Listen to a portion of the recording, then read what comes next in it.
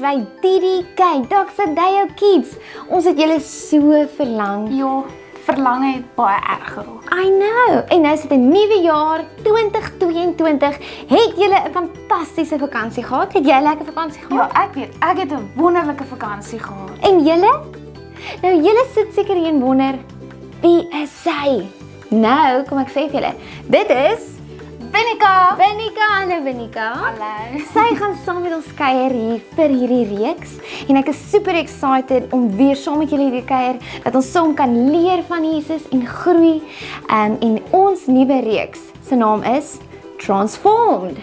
Wat? Transform, dit is dit amper soos Transformers.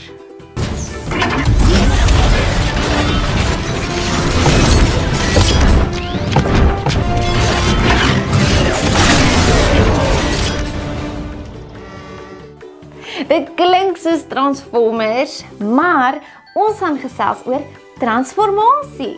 Transfo trans transfor wat? Transformasie.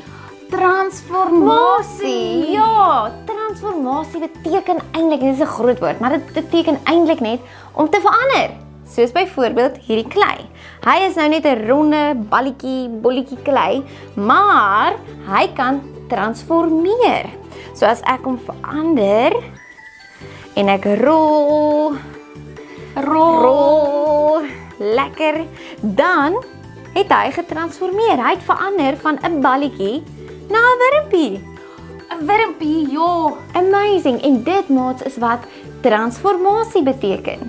En die coolste ding van alles is, het jy geweet Monica, jy kan ook transformeer. Wat? So dit beteken ek kan verander in 'n butterfly. Nee, Monica. Ag, dis nie wat ek bedoel nie. Wanneer jy Jesus in jou hartjie neem, dan kan transformasie gebeur. Dit beteken Jesus kan kom en jou ook verander. O, so dit beteken ek kan hierdie lang hare van my Uh, natuurlik.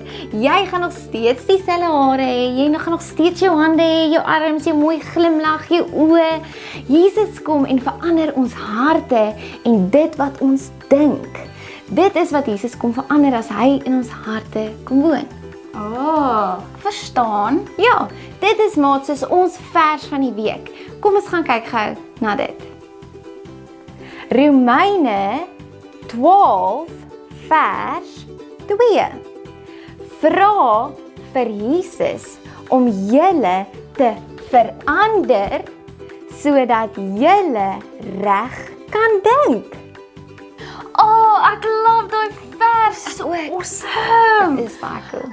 Ek wil dit so graag onthou. Kom ons doen dit dan weer. Ja, great stuff. Is jy reg? As jy sit of staan of lê, staan net op en nou gaan ons gaan. Is jy reg Monica? Yes, Is jy ja. reg? Let's go. 1 2 3.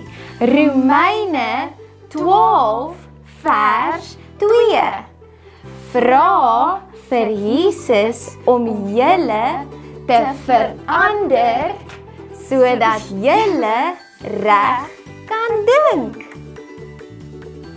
Hoe amazing is daai vers nie, Benika? Dis baie amazing. Ek love dit. As Jesus in ons harte kom woon, dan gaan ons transformeer. Hy gaan verander hoe ons dink. Ons gaan nie meer ehm um, hoef te dink aan negatiewe dinge of slegte dinge nie.